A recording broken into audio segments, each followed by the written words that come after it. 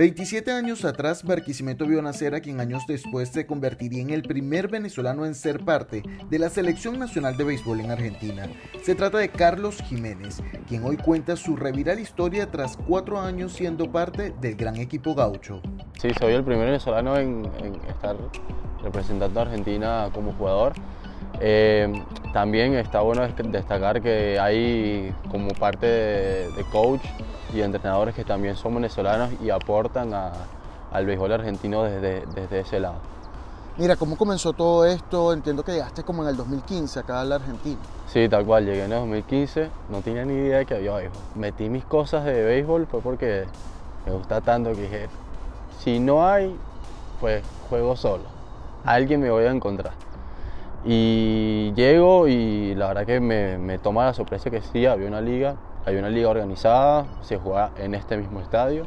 Eh, empiezo a jugar con un equipo que se llama Los Criollos de Venezuela.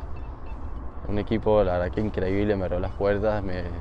Era como jugar todos los domingos y saber que estaba en Venezuela. Era, era, era lo mismo. ¿Dónde jugaban? Este, jugamos aquí, jugamos en La Plata, hay varios estadios que están aquí en, Buenos Aires y que eran Buenos Aires, eh, que, que jugábamos, eran como domingos y sábados. Entonces, nada, como, como buenos juegos, de, después de los juegos, como que nos quedamos reunidos, este, comida, ¿sabes? Todo era muy, muy de nuestro ambiente venezolano. ¿Y cómo llegas entonces a la selección nacional? La selección llego porque me fueron viendo los juegos, eh, los, parte del cuerpo técnico de la selección me vio jugar, me vio lanzar, este, le interesó, ahí se produjo una invitación a, los entrenamientos que entrenamos acá los martes y jueves en las tardes. Eh, después eh, se me abrió la mente a decir, bueno, la verdad que todavía me queda como para, para tocar este lado profesional, me gustaría y si estoy en este país y sé que voy a estar en este país, ¿por qué no intentar estar en el mayor nivel posible si tengo la posibilidad? Me autogestioné todo, me autogestioné el pasaporte, y dije, necesito esto y busqué, hice todo lo posible para estar y bueno, acá estoy. Carlos, y esta historia comienza como en Barquisimeto, allá en el centro occidente de Venezuela. Claro, en Barquisimeto, desde chamito jugando, los 5 años, me acuerdo. Este, bueno, en realidad no me acuerdo, mi mamá me decía que iba dormido a jugar y, bueno, este, esta historia se, se, sigue desarrollando porque tenía buenas habilidades, este, Estuve como invitado en varias academias profesionales. El sueño no se cumple en Venezuela. Este, como todo el mundo sabe, es un, sueño de muchos eh, jugadores más y oferta y demanda, es así, no se cumple a veces. Así que eh, me voy del país cuando decido irme del país por estudios, ni siquiera fue por béisbol. Increíble. ¿Y qué ibas a estudiar? Aquí, kinesiología, Ahora terminé estudiando este, un profesorado de educación física que descubrí que mi vocación va más ahí. Genial. ¿Y en qué academias estuviste allá en Barquisimeto? Estuve en la academia de Rancés Lara. Él, es, él era un coach de los Cardenales de Lara, que él tenía, aparte de ese trabajo en Cardenales de Lara, tenía este, ese, esa academia aparte que estaba en el Tunal, en Keyboard. Okay. Entonces, literal, yo vivía en Keyboard en la semana y y Barquisimeto los fines de semana. ¿Y quién toma la decisión de venirse? ¿Fuiste tú? ¿Te viniste solo con la familia? Fue una decisión de familia y fue, fue un tema porque cuando yo decido abocarme a, la parte profesional y buscar un contrato profesional, yo les prometí a mi familia que si eso no pasaba, mi decisión iba a ser abocarme 100% después al estudio. Terminarme de graduar y irme al lugar donde sea mejor para ser un mejor profesional. En este caso decidimos, con todo el esfuerzo, con toda la situación que estaba en Venezuela, eh, decidimos, bueno, vete a Argentina, allá el estudio eh, es gratis, hay que poner el empeño, hay que trabajar, hay que salir adelante y fue una decisión y, la cumplí. Fue una promesa que la, realmente hasta el sol de hoy la cumplí. Excelente. Mira, y cuando te vienes, no es por una situación país como tú bien lo describes, que dentro de todo sí lo pega porque es 2015. Em, ¿Soñabas en ese momento con, ser a lo mejor grande liga? ¿Soñabas con, estar en el béisbol profesional venezolano? Claro, sí, sí, con un sueño como, como todos los peloteros que tienen, que están allá en Venezuela, que tienen de ser grandes ligas, de jugar en, el estadio, en el Antonio Herrera. Es un sueño que, que bueno, la que muchos peloteros tienen y no se puede cumplir, a veces sí, pero creo que siempre tener otras opciones es bueno. Tener otras opciones y el estudio es la mejor, la mejor opción que podemos tener. ¿Hoy día con quién estás acá en Argentina? Hoy vivo con mi papá, estamos acá, lo dejo en un apartamento, mi papá también trabaja. Este, tengo otros familiares, tíos, eh, primos, pero no viven conmigo, o sea, están aparte. Mira, ¿y cómo es ese día a día de, Carlos Jiménez? Eh, porque además yo entiendo que, también das clase en un gimnasio. Sí, eh, en realidad no doy clase porque todavía no tengo el, título, pero mi día es levantarme a las 6, empiezo a trabajar a las 7 en el gimnasio, yo lo abro, yo soy parte de la parte de ventas y recepción, entonces estoy ahí, es el que está en la recepción ahí esperando a la gente. Bueno, eh, estoy ahí en la mañanita con cara sonriente para poder recibir a la gente. Eh, salgo a las 2 de la tarde, 3, cuando vengo acá salgo antes, tengo que pedir permisos. Eh, entreno aquí martes y jueves, después de acá tengo que ir a la facultad, salgo 10, 9 de la noche y después regreso a casa a preparar mi día siguiente. Cuando no estoy aquí, estoy en el gimnasio, que está justamente al lado de la facultad, pero la, la, sintonía y el día a día es igual, al menos de lunes a viernes. Y los viernes y miércoles estoy en el Club Ferro, que es mi club, yo juego para Ferro, y también apoyando a los más chiquitos, dando clases, este, haciendo, haciendo lo que pueda. Mire, ¿cuál es la diferencia del béisbol venezolano al de acá de Argentina? Porque nosotros crecemos con el béisbol. Claro. Siempre decimos los hombres queremos ser peloteros, las mujeres quieren ser mises. Claro. Hay una gran diferencia, la verdad que la, la, cultura es distinta, pero pasa en todos los países. O sea, el, béisbol en Argentina es distinto que el de Venezuela, como lo es en Estados Unidos, como lo es en Dominicana, como lo es en México. Eh, no quiere decir que se viva mejor o peor simplemente es distinto, no tiene un punto de comparación. Sí, le hace falta más público, le hace falta más publicidad, le hace falta que, que apoye más marcas que hagan que este tipo de, esta infraestructura se, se mantengan, que venga más gente, pero dentro de lo que está y lo que se vive hoy en día, se vive un buen ambiente, o sea, es béisbol, o sea, sigue siendo béisbol, la gente no lo cree, pero es béisbol. ¿Y qué te dicen los compañeros argentinos? Porque como tú lo dices, no es cultura de ellos, sino el fútbol. Y, tú si vienes de un, de un país con esta cultura del béisbol. No, mira, mis compañeros, la mayoría han jugado profesional, lo que están, o sea, de la selección, la mayoría han jugado profesional, han jugado en Venezuela, han jugado con venezolanos y con otras nacionalidades más. Y es que cuando estás en un equipo, tú eres uno más, o sea, tú no eres Carlos de Venezuela, tú eres Carlos. O sea, no, no hay no hay otra cosa. igualmente con mis compañeros argentinos. No son argentinos, son, son mis compañeros de equipo. ¿Y la noticia cómo se recibió en el ambiente venezolano? Eh, porque bueno, eres el primero, digamos, eres una, eh, un, paso a seguir, un ejemplo a seguir de, otros venezolanos. Se recibió, fue muy positivo, fue muy positivo. Al principio no tuve tanta publicidad en hacerlo, tampoco lo, busqué. Estaba concentrado más en jugar, en mantenerme, porque no es llegar, es mantenerse. Y hoy sigo en esa lucha de mantenerme, de estar en el equipo, porque hay muy buenos jugadores argentinos.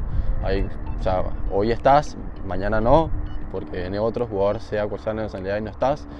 Pero la, respondiendo a tu pregunta, eh, se tomó como algo histórico. O sea, no, no había pasado antes y, o sea, por parte de mi familia, mis amigos, fue como, bueno, wow, para mantenerlo hay que mantener eso. ¿Y Carlos qué siente por, por ser ese muchacho que salió en 2015 con un sueño que a lo mejor a los 23 años cuando ingresas ya a la selección, digamos, en el béisbol ya no eres tan joven? No, no. Eh, dije, bueno, esta es otra oportunidad para mí, era lo que yo buscaba y toca más que demostrar que sí soy bueno y que y que estoy para esto. O sea, por más que sea, no fue como lo soñé, como digo, bueno, un profesional, eso que viaja en jet privado. Pero bueno, esto y lo vivo como, como si fuera tal cual así. O sea, lo disfruto, eh, me, me, abre las puertas me adentra más a la cultura de Argentina, me hace sentir más en casa, eh, tengo amigos, ¿sabes? Es como, sí, no estoy en mi país, pero yo me siento en casa. O sea, yo, yo, me siento aquí en mi casa, tengo, de acá salen los mejores amigos que tengo, este, el apoyo que tengo de, de todos ellos es incondicional, de mi familia, eh, es un motor para levantarme en las mañanas y decir, bueno, yo hago todo esto es por, porque todo esto tiene su fruto. Y cada vez que voy y represento a Argentina, digo, es que aquí está el fruto. O sea, aquí lo estoy viendo. Quizás una de las tareas más difíciles de Carlos es aprender a vivir lejos de sus seres queridos. Los ojos del pelotero se iluminan para hablar de su principal motor, su sobrino Santiago. Sí, mi, mi sobrino Santiago, que está en Chile, este, Santiago, sí, un motor. O sea, claramente es un motor de, de, todo esto, al menos que ya el tío, que, que mira lo que está haciendo el tío, ¿sabes? Es, es increíble que, que lo, lo, que hace un niño, ¿no? ¿Te gustaría traértelo, que juegue pelota con No, no, me encantaría. Ojalá, ojalá, pero bueno, que decida qué va a hacer. ¿En Venezuela con qué equipo soñaba jugar? Con Cardenales. Con Cardenales. y también tengo que decir que con el Caracas. Con el Caracas siempre tuve algo, como un feeling ahí. Pero claramente con el Cardenales. O sea, te imaginas, no sé, yo viví siempre en Barquisimeto. Que se nombre tu, tu voz. Gregorio Valles allí en el Antonio Herrera. Claro, que, que, que, te nombre en, en, en, relevo Carlos Jiménez. Me vuelvo loco.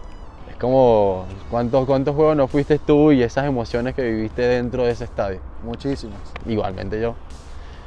Yo tengo una anécdota de eso, que por cierto la cumplí en el jugando aquí. Eh, no sé si tú te acuerdas de Pablo Orlando, el brasilero que jugaba con, con no. Cardenales. Era un outfit, un brasilero en los mejores tiempos de, de, Cardenales. Yo era fanático. Yo iba al estadio a verlo. A mí me toca jugar un clasificatorio mundial y nos toca con Brasil. Y nosotros estamos llegando a Panamá, nos, nos quedamos en un hotel que íbamos a hacer una gira previa y nos estamos quedando en un hotel de Panamá. Y no va que cuando estoy ahí me toca comer con Pablo Orlando al lado. Y me entero que yo, mañana, yo al día siguiente lanzaba y estaba jugando Pablo Orlando. Y me tocó lanzarle a Pablo Orlando. o sea, en mi vida iba a imaginarme que un sueño que nació en Argentina se terminó cumpliendo aquí de lanzarle a uno, a alguien de, que ya era súper fanático. Y el chamo, bueno, hablamos de Barquisimeto, imagínate.